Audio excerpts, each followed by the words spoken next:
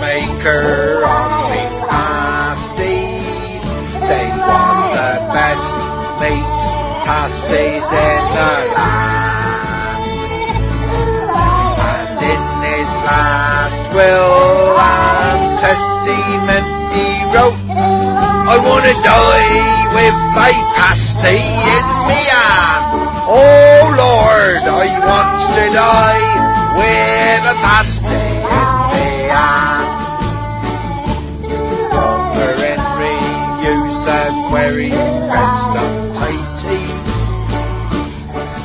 the beef was of the finest brand. And for threepence or a tanner, made in a most professional manner, you could buy the finest pasties in the land.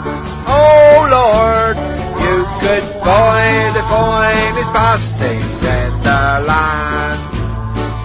When he one day, while sitting in the kitchen, he was sat there with his masher in his hand. He found some Satan's beef and flour, and in less than half an hour he'd made the finest little pasties in the land. Oh Lord, he'd made the finest Pasties in the land.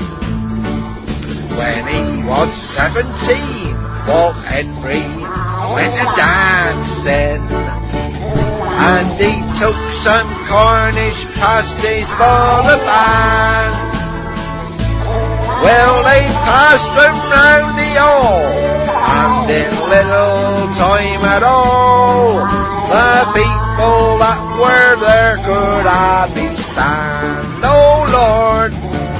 The people that were there could hardly stand.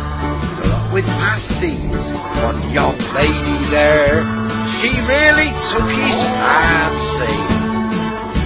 And the things young Walter thought ought to be banned.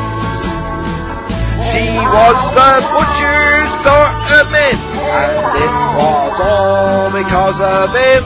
She became the fattest lady butcher in the land. Filled her up with pasties, the fattest lady butcher in the land. Anyhow, he married her. Walter Henry's wife worked with him on the mincer. And his brother Georgie mashed the spuds by hand. No trace of dust when little old Walter rolled his crust. They was the cleanest little pasties in the land. Oh Lord, they was the cleanest little pasties in the land. But when he got old, poor Walter's eyes became defective. And instead of flour, one morning used sand. But what was the worst of it? They didn't half make you grit. They was the grittiest, nasty pasties in the land.